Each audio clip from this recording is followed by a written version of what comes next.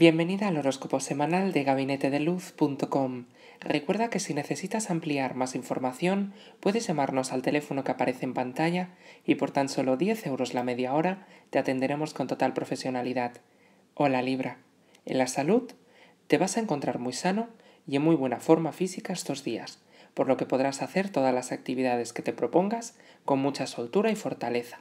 Además, tus frecuentes problemas de nervios serán menores cada vez ya que lograrás encontrar un cierto equilibrio interno que te llevará a estar equilibrado físicamente. Verás reducidas las molestias estomacales que puedas haber tenido hasta ahora. En el dinero y el trabajo. Esta semana estarás muy concentrado en tus tareas laborales y vas a dar el máximo de ti mismo para que todo salga de la mejor manera posible. Puede que tiendas a ser demasiado controlador con el trabajo de tus compañeros y que esto te traiga algunas discusiones con ellos, por suerte, tu signo tiene un carácter diplomático y sabrás resolver cualquier malentendido que surja de una manera positiva y sin mayores problemas.